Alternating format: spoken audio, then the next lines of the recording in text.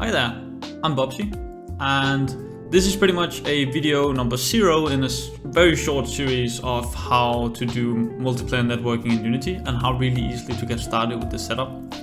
Now the reason why I chose to make a video zero is because there's a few things I want to explain and I don't really want to use that time in the actual video since I know that the attention span of people searching on YouTube is very short. Um, so just to get started, this is video zero, the summary of what we are getting into in the series and also just a very brief introduction to the networking tool we're going to use. Video one is going to be the initial setup uh, and also just looking at quickly how to network your movement.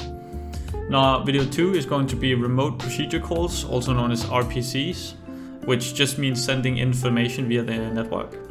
Video 3 is going to be spawning and for that sake also despawning objects over the network. And number 4 is going to be synchronizing variables over the network.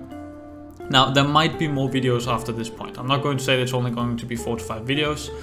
Um, but this just means that anything past this point is most likely going to be per requests. If I, for example, see the question a lot in the comments, I might end up just making a video showing how you do this instead of trying to explain it to every comment.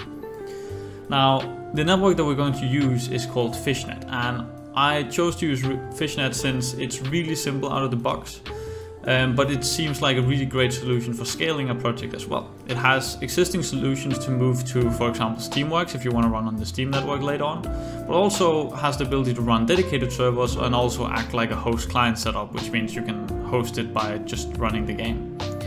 Uh, this provides great flexibility to us as the users of Fishnet since we don't really have to decide now what we want to do. This doesn't really leave you with a lot of thinking to do since you can uh, just run the same code but with a different option later on. So if later on you choose, oh I want to do a dedicated server, it's basically the same setup. Or oh I actually want to run on Steam servers, it's basically the same setup.